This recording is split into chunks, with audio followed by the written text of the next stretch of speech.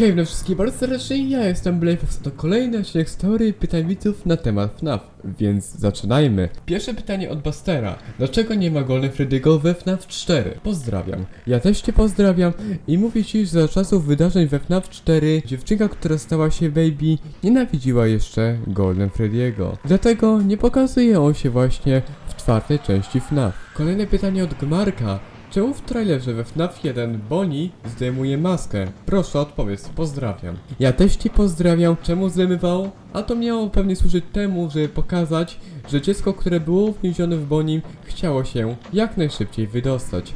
Ale ostatecznie w grze tego nie pokazano, tak jak samo Boniego biegnącego przez korytarz. I zamiast niego to Foxy przebiega przez korytarz po lewej stronie od naszego biura. Kolejne pytanie od Camilardo. Blayfox, co się dzieje, gdy we FNAF Location szybko przechodzimy przez wenty? To mówi coś, że wykryto ruch, co się wtedy dzieje. Tak naprawdę podczas kiedy jesteśmy w klimatyzacji, możemy czuć się całkowicie bezpieczni. Niezależnie jaki dźwięk usłyszymy, i tak żaden animatronik nie może nas tam zaatakować. A gdy przechodzimy przez wenty i słyszymy dźwięk, to znaczy, że jest informacja, że wentylacja jest zapchana albo jest przeciążona.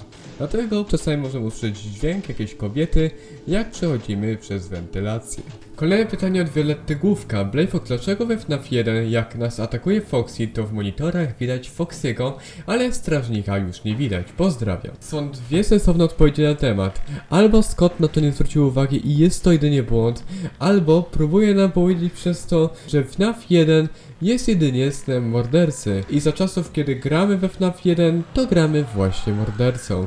Kolejne pytanie od Winicjusza Randułowskiego. Blayfox, czy da się zrobić coś, żeby dostać sekretny jumpscare Boniego z FNAF 1, czyli Jumpscare Eyes? Odkąd zacząłem grać w FNAFa i interesować się nim, nigdy nie słyszałem o takim jumpscarze. A jeśli widziałeś taki jumpscare, to prawdopodobnie jest to zwykły fake, zrobiony przez jakiegoś fana FNAFa. I żaden taki jumpscare nie występuje we FNAF 1. Okej, ja wam bardzo dziękuję za oglądanie, mam nadzieję, że odcinek wam się spodobał i widzimy się w kolejnej, więc trzymajcie się.